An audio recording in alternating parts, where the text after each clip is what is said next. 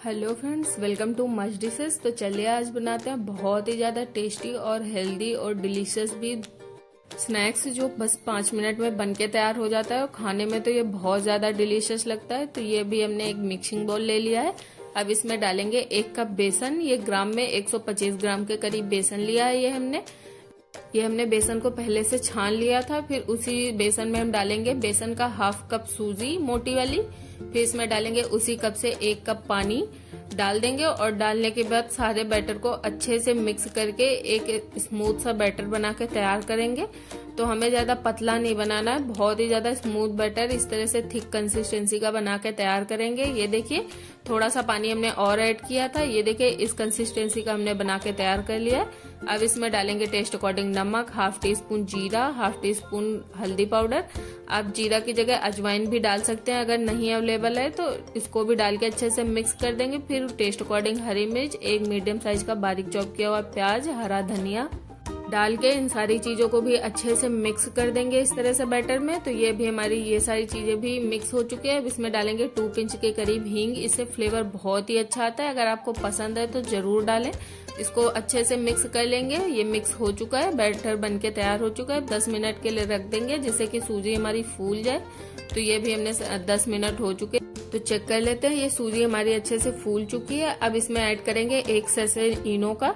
इससे बहुत ज़्यादा फ्लफी हमारा नाश्ता बन के तैयार होता है और सॉफ्ट भी बन के तैयार होता है। इसको बस हमें जब पकाने के टाइम पे ही इनो को ऐड करना है, पहले से ऐड करके नहीं रखेंगे, नहीं तो इसका जो फ्लफीनेस होता है, वो बिल्कुल खत्म हो जाता है। तो ये भी हमने पैन ले लिया है, तड़का पैन इसमें बिल्कुल थोड़ा सा ऑयल डालेंगे, फिर इसमें डालेंगे हाफ़ टी स्पून अब इसमें डालेंगे राइस को अच्छे से क्रैकल होने देंगे। फिर इसमें जो हमने बैटर बना के रखा था, उसको ऐड कर देंगे इस तरह से। एक चमचा भर के डाल देंगे और डालने के बाद इसको ढक के लो फ्लेम पे दो मिनट के लिए बस पकाना है। दो मिनट में अच्छे से पक जाता है। तो ये देखिए, अभी अच्छे से पक भी चुका है।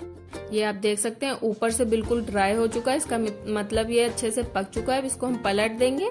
ये देखिए, कितना प्यारा सा कलर आया है, बहुत ही ज़्यादा क्रिस्पी हो चुका है, एक साइड से दूसरी साइड भी क्रिस्पी कर लेंगे। आप चाहे तो ऑयल डाल के भी क्रिस्पी कर सकते हैं, पर ये ऐसे ही बहुत ही अच्छे से क्रिस्पी हो जाता है।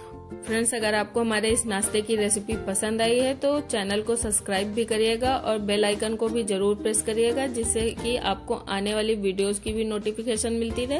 तो ये देखिए, अभी दोनों साइड बढ़िया से क्रिस्पी हो चुका है स्नैक्स बन के तैयार हो चुका है। अब इसको सर्व कर लेंगे। इसी तरह हम दूसरा बना के दिखाते हैं। उसी पैन में थोड़ा सा ऑयल डालेंगे, फिर मस्टर्ड सीड्स डाल देंगे, फिर डालने के बाद इसको क्रैकल होने के बाद जो बैटर बना के रखा था उसको ऐड करेंगे, फिर इसको भी ढक के दो मिनट के लिए बिल्कुल लो फ्लेम पे हमें कुक कर लेना है। तो ये भी दो मिनट हो चुके हैं। अब हम इसको सर्व कर लेंगे। बहुत ही ज़्यादा टेस्टी लगता है और बहुत ज़्यादा हेल्दी भी होता है। बिल्कुल बहुत कम ऑयल में बन के तैयार होता है और घर के बेसिक इंग्रेडिएंट से बन के तैयार हो जाता है। ये अभी हम आपको कट करके भी दिखाते हैं। ये देखिए, बहुत ही ज़्यादा सॉफ्ट और स्पॉन्जी बन के तैयार हुआ है।